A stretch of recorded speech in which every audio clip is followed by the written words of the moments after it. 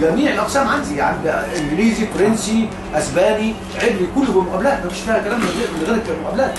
يعني على الأقل يكون عنده الحد الأدنى الذي يسمح وهم فعلا أوصوا توصية أنا قلت للدكتور عبد الحميد مرة واثنين إن فكرة الكورس التمهيدي ده ممكن يلعب دور خطير جدا في إعداد الطلاب يعني حتى يعني- بالنسبة للغات الاقدميه وهتبان أكتر في تعلم اللغة الصينية وتعلم اللغة اليابانية دي صحيح. هتبان كتيرة. والتركية لا، اللي ده بيدفع فلوس كتير دلوقتي عشان دلوقتي برنامج لغة يعملوا في البرامج دي بقى جديدة. آه. بس هو في هنا نقطة آه، كنت نتكلم عنها آه، جزئية عدم آه، إن الناس بتتعامل مع بعض آه، أنا عندي في الكلية آه، كليه الأداب ثمان برامج. يعني عندي أربع برامج ترجمة ترجمة إنجليزية ترجمة فرنسية ترجمة. إسبانية ترجمة عبرية. يعني هذا البر... هذا البرنامج اللي هو برنامج الترجمة مش موجود في الكلية العادية. أنا بدي ليسانس دراسات أدبية ولغوية. لكن بدي زي ما كان بيقول الدكتور سعيد قبل ما يمشي برنامج متخصص في الترجمة. وما أدراك ما الترجمة في الوقت العصر الحاضر صحيح. والحالي فيما يتعلق برنامج اللغة العبرية برنامج استراتيجي مطلوب من البلد إن لازم يبقى فيه برضه وحتى نوعية المستفيدين بيهم نوعية خاصة جدا في هذا الإطار. آه، آه، برامج عندنا بتديني بناء على دراسات جدوى إحنا مش متخصصين في دراسات الجدوى لكن استشعار حاجة السوق لأن إحنا مشاكل التعليم في مصر مشكلة مشاكلنا كلها يعني متعلقة بعدم ربط هذه المخرجات بسوق العمل. فإحنا لما نلاقي ونستشعر خطر إن إحنا في ظل هذه التكنولوجيا ومفيش برنامج للأرشيف الإلكتروني نعمل إحنا برنامج الارشيف الإلكتروني موجود. معلش البروباجندا الكافية اللي تسمح بإنه فعلا كل مؤسسات الدولة تتعامل مع هذا البرنامج القيم جدا اللي هو الأرشيف الإلكتروني. دي مسألة أساسية جدا.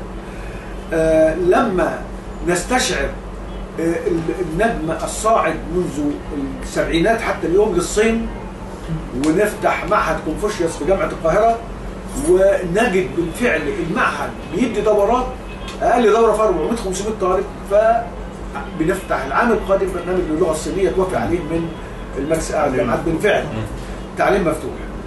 آه، آه، فكرة آه، لقينا مطالب دكتور عدة. إن في طلبة صينيين في- بيدرسوا في البرنامج ده. طبعا. طلبة صينيين. هقول لحضرتك على حاجة. طب بيدرسوا إيه؟ ده؟ هقول لحضرتك على حاجة. آه.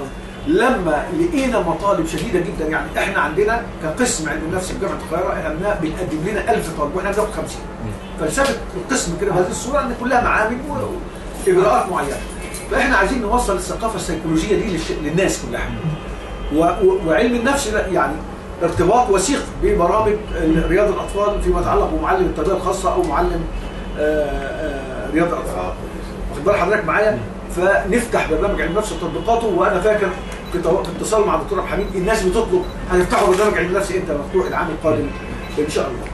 التعليم المفتوح أنا بصراحة بنادي وبطالب أساتذتي في الكلية وزملائي إنه يا جماعة الكتاب يبقى مواصفات كتاب التعليم المفتوح المواصفات اللي بادئه بالأهداف ودي, الأسس العلمية لبناء المقررات ومضمون جيد حديث بيتحدث كل آه، خمس سنوات بل بالعكس أنا عندي ناس حريصين على إنهم عايزين يقللوا الخمس سنوات. يبقى كل ثلاث سنوات زي برنامج اللغة الانجليزيه وأنا رافض لأن لا قبلنا لا قبلنا التعليم بعض الحاجات وقبلوا في بعض. في الإعلام اللغة الترجمة الإعلامية قلنا لهم دي ممكن نخليها كل ثلاث سنين عشان. حاجات فكرة وجود تطبيقات فكرة وجود تدريبات. واخد بال حضرتك معايا؟ فكرة وجود سي دي مع الطالب. هو ده إيه غير ال e-learning اللي هو التع... وال- والتعلم الذاتي؟ واخد بال حضرتك معايا؟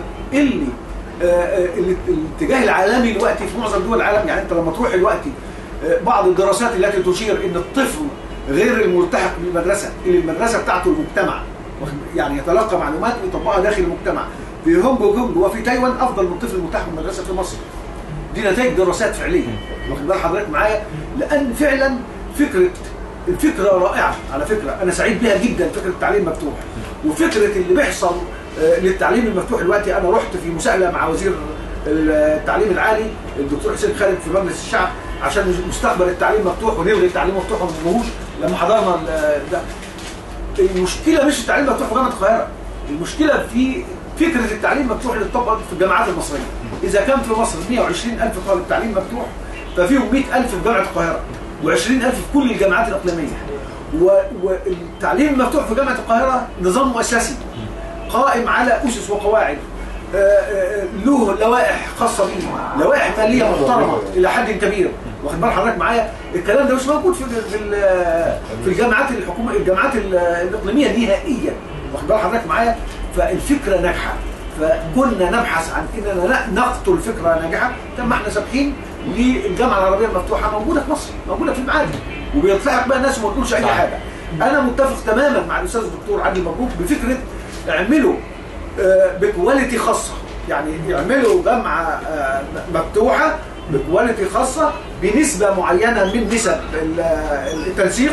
إن شاء الله تبدأ من 50% إحنا مش عايزين طالب الثانوي ال- طالب ال- اللي هو الثانوية العامة ده نهائي. أنا عايز أقول حاجة.